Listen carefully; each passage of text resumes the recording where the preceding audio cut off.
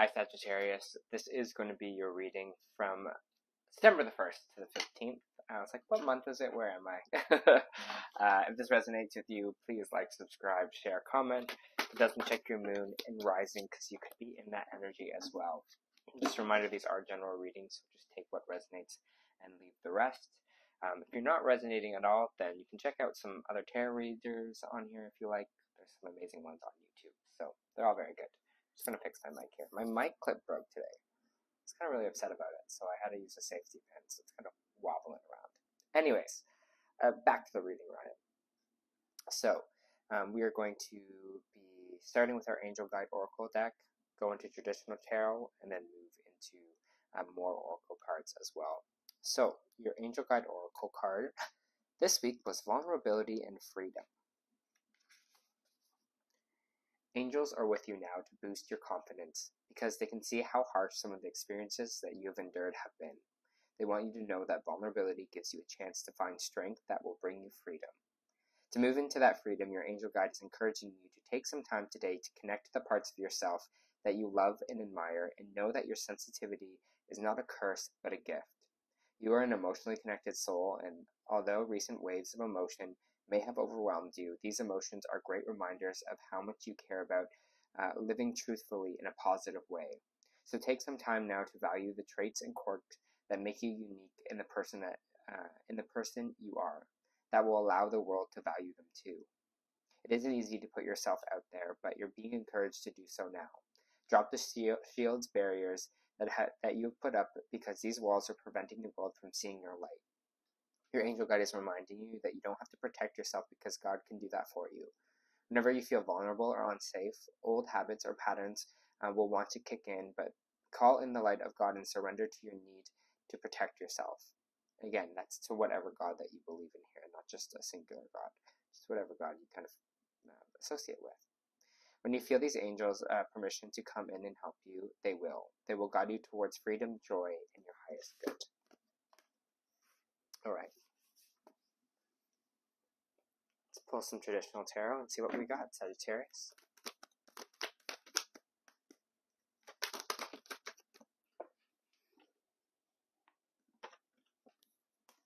Sorry, one fell here.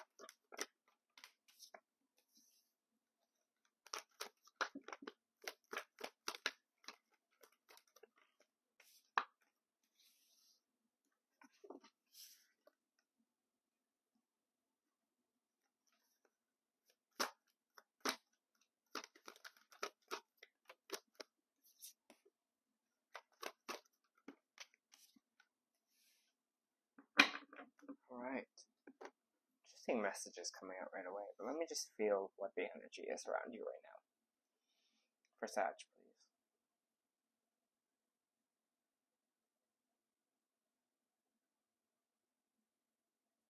Okay. Weird message I got. Stirring the pot. Maybe some of you are cooking or something like that. I just saw like stirring something or, or stirring the pot. Stirring a pot, maybe again, I don't know what that message is. Maybe some of you are Just learn more how this energy feels for Sag right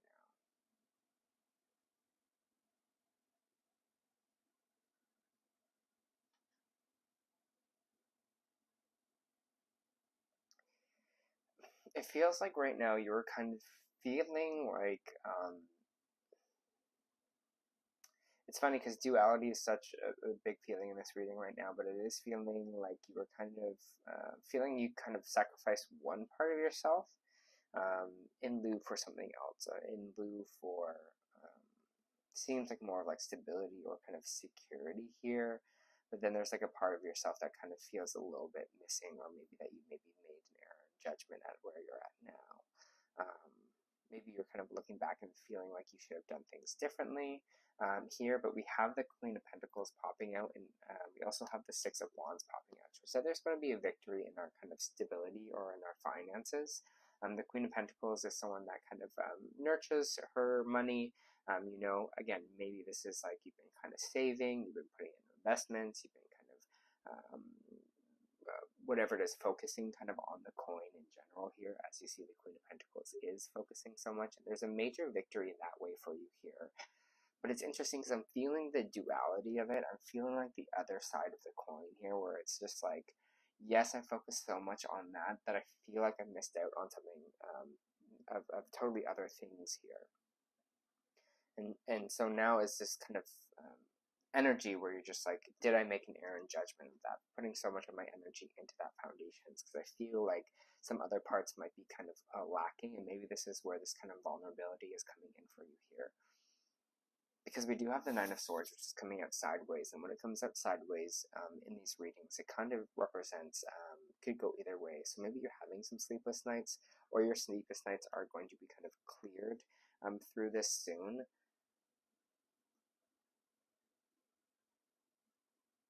Yeah, it feels like we're almost kind of now coming out of the choice um, here because we do have the Two of Swords in the reversed. Um, we do have um, this energy of a crossroads, but coming out of the crossroads here, kind of knowing what to do, knowing what direction to go. Um, but again, we're knowing this direction to go now, but again, we're still having sleepless nights. Again, there's something feeling like there's something is missing here, or again, with the judgment card in reverse, that we made an error in judgment on something. It has something to do with maybe our finances or focusing. Um, a lot of our finances are something that we want to build here. It's interesting because there is still a win here, but you are having that kind of um, point of yourself where you're just being like, you know, did I make the right choice in um, focusing this I'm following that? We have the High Priestess in reverse here, which means our intuition might be blocked right now. So maybe this is where this kind of conversation um, is coming in, or these questions are in, coming in for you here. It feels like everything was supposed to be kind of in divine timing. So just trust that and trust that every day you wake up, you kind of have a choice here. That, you know, you can wake up tomorrow and you can pr- um, pursue something else um, if you kind of want to. That you know, this kind of focusing on the finances just doesn't have to kind of always be um, a forever thing. You know, we're not kind of stuck in this now. We can make changes if we want to. And that's with, with this Fool card in reverse that we're feeling like. We're feeling like um, we can't have um, freedom here or feel like um,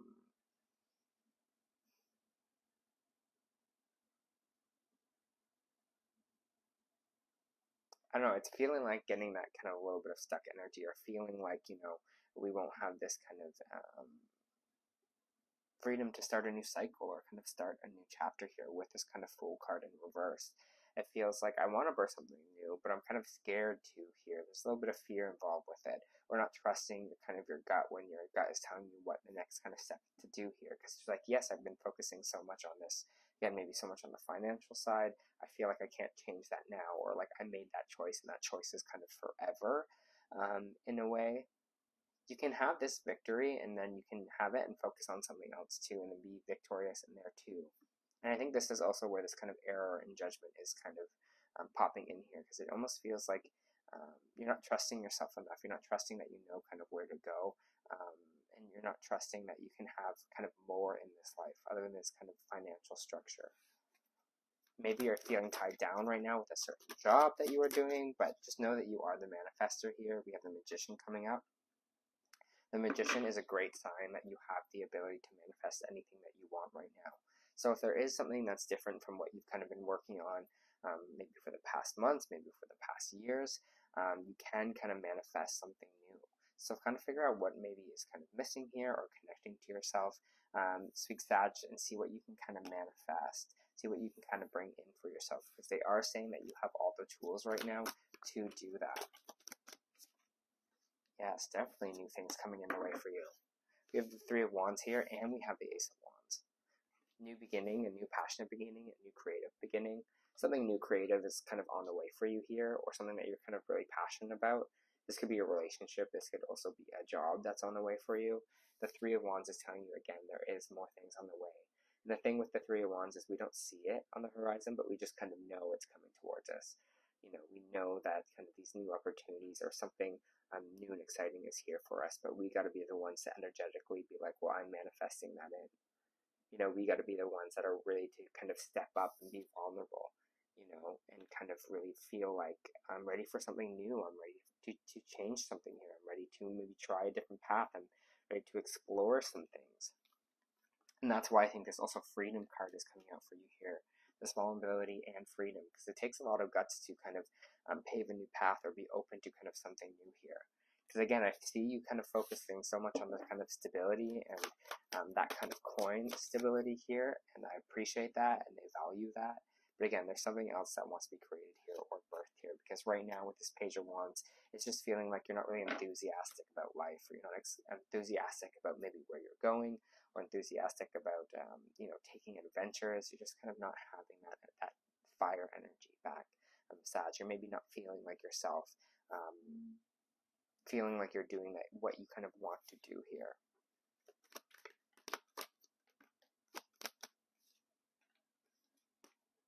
Yeah, definitely new hopes, new wishes. I think coming out for you. You, some of you might be wanting to train, change careers or something like that. We do have the Death card coming in reversed, which again, we're just seeing this kind of same um, cycle happening over and over for us, where we're just like, ah, it still feels like maybe something is missing, or we're still feeling like, um, you know, nothing's kind of changing here. And I feel like this kind of death card is happening here because you can't um, allow this kind of one part of yourself to kind of end. You know, one chapter to kind of close for yourself here. And usually the death card comes in reverse with the fool card coming in reverse. Um, because you can't have a death, you know, if there's not a death, there's not a new beginning for you here. And it doesn't say that something has to completely die, but it feels like there's something else, again, like I was saying before, that wants to be birthed here um, something new that wants to be brought in for you, new hopes, new dreams, with the star card coming out here as well. I feel like we are just evolving, Sag. We are just kind of changing. Moving out of this kind of rut energy or moving um, out of this energy of kind of sacrificing ourselves just for kind of this coin or sacrificing ourselves because we just um, feel like money is kind of going to bring us this happiness in a way. And you're kind of having the vulnerability to do that now. Knight of Wands, yeah, this new kind of passionate, fiery star for you here. Maybe for some of you, this is going to be a new lover or a new romantic person coming in here as well.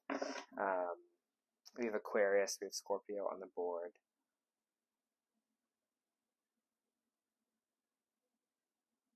So it could be Aquarius or Scorpio, but Knight of Wands, it does represent you because you are the fire sign. You are Sagittarius um, Leo could represent um, also Aries here as well. It could be a new kind of lover or someone that kind of is coming in passionately into your life here. It's just interesting though because afterwards we're having this kind of person coming in or this kind of new passion coming in for us here, but we're having a bit of weak boundaries involved with it. Now this person, this Knight of Wands isn't kind of in the reverse here, Sag. So I'm not kind of nervous that they're kind of maybe playing the field here, but it's almost like we're not kind of feeling, um, we're not really standing up for ourselves, or we're not really kind of valuing ourselves here with this kind of uh, Seven of Wands in reverse and with this kind of Nine of Pentacles here.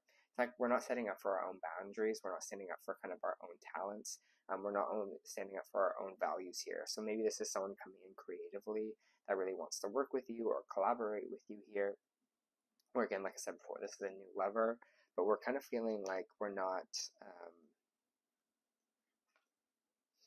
we're not good enough for that, or we're not kind of valuing ourselves enough for this kind of project or this kind of new person here. Again, just stick into your um, self here, stick into your vulnerability, trust yourself that you kind of can do something, that this is kind of being brought towards you for something new. Because you're definitely having like a new beginning here and a fresh start.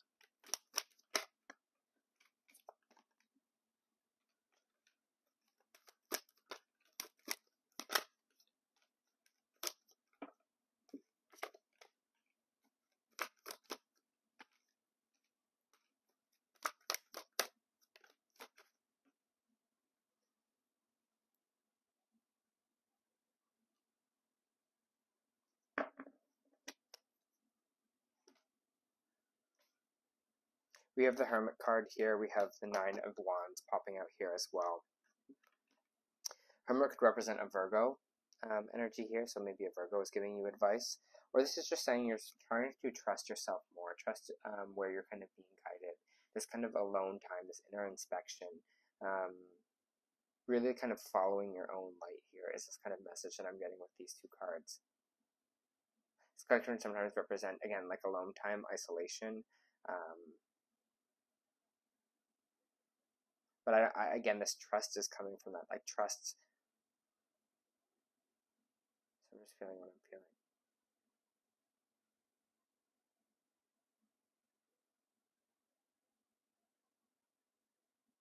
It's like trust where you're being guided is the message that I'm kind of getting here. And this is why maybe this uh, hermit is coming out here because you see the light is kind of guiding them. And sometimes this can be kind of alone time, but this can be just like um, spending some time or going kind of inward in ourself here. But I get this kind of guiding light energy from this hermit. So trusting this kind of guiding light. Maybe this guiding light is yourself here, you know, trusting yourself to kind of lead the way. So it seems like right now, in, in this energy at least, there's this kind of um, draining energy, this overexhaustion here, overworked kind of energy. When it's followed by the kind of Eight of Swords like this, it's kind of like mentally overworked, overthinking, this idea that we are feeling like we're stuck, that there's no other options. The Devil card in reverse is saying we're, hey, we're kind of removing the stuff that is keeping us tied down, whether this is fear, whether this is um, you know, vices, whether this is um, overspending, whether this is, um, you know, uh, toxic people, it seems like you're moving up in your energy here of starting to um, trust yourself more and again believe in yourself here. It's like whatever these kind of negative thoughts that we were saying, maybe that we're too old, um, you know, we can't start something new here, um, you know, uh, maybe something isn't for us. All these kind of negative thoughts that are uh, thoughts that are stopping us from kind of um, doing what we want or kind of having our most fulfilling or happiness life or setting new goals here or having new hopes is going to be kind of washed away. It feels like um, in these two weeks. And I think that's kind of all with you being like, no, I trust that maybe it's time for me to do something new. Like, I trust this is something that I, I really want for myself here. You know, I trust this is kind of a hope. I trust this is a goal for me. I'm not going to let myself stop myself anymore. Even though it might feel scary, even though it might feel like, um, you know, it's being very vulnerable, like opening myself up here, I'm going to kind of do that Maybe some of you are starting something new, a new career that's maybe more online, or a career that is something that's like more showing more of yourself to kind of the world here. Because again, it's like that that vulnerable kind of artistry that's that's popping out here for you, um.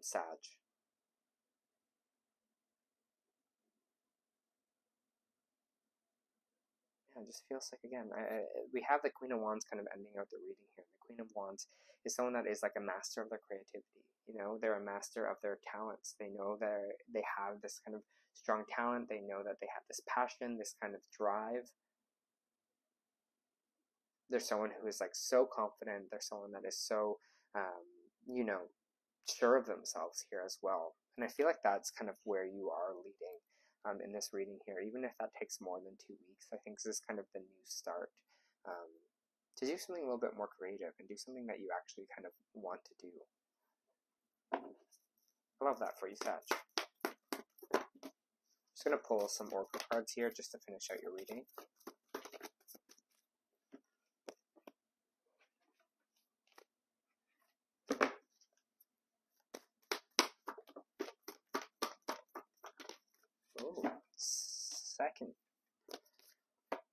Fire sign to get this sign, uh, get this card today.